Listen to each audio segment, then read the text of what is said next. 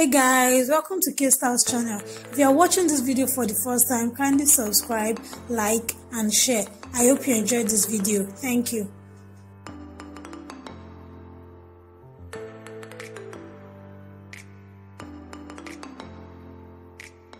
Hey guys today i'll teach you how to make african threading with triangle parts so these are the combs i'll be using but this is the cotton comb I'll use a pair of scissors.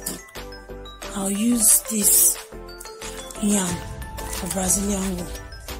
This is it, Brazilian wool. Yeah, for a beautiful look. And I'll be using this jet cream also to make the So I've rolled out the Brazilian wool, then I'm cutting it.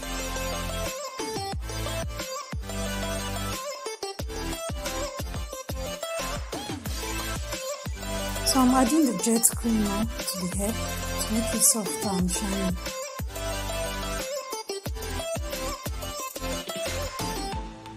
As you can see, the hair is shiny. So to make the triangle parts, you make a straight part at the back depending on the size you want for the triangle part. So you make a straight part at the back, but you can start anywhere but I'm starting from the back. So you make a straight part.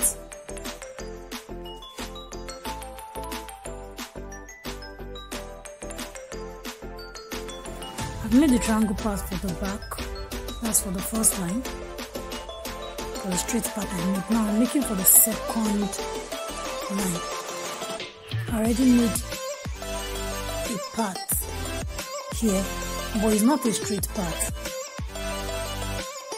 Already made I already made the edges like a triangle part itself because the length of the side of the edge is uh, smaller than that of the middle.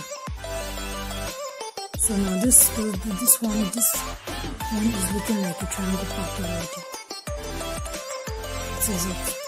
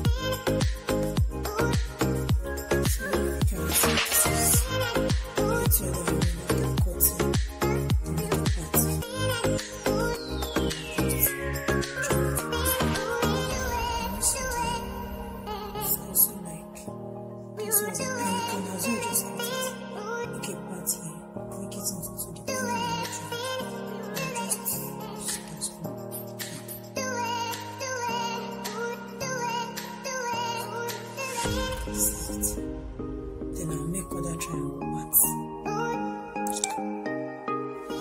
So actually, I'm still making them.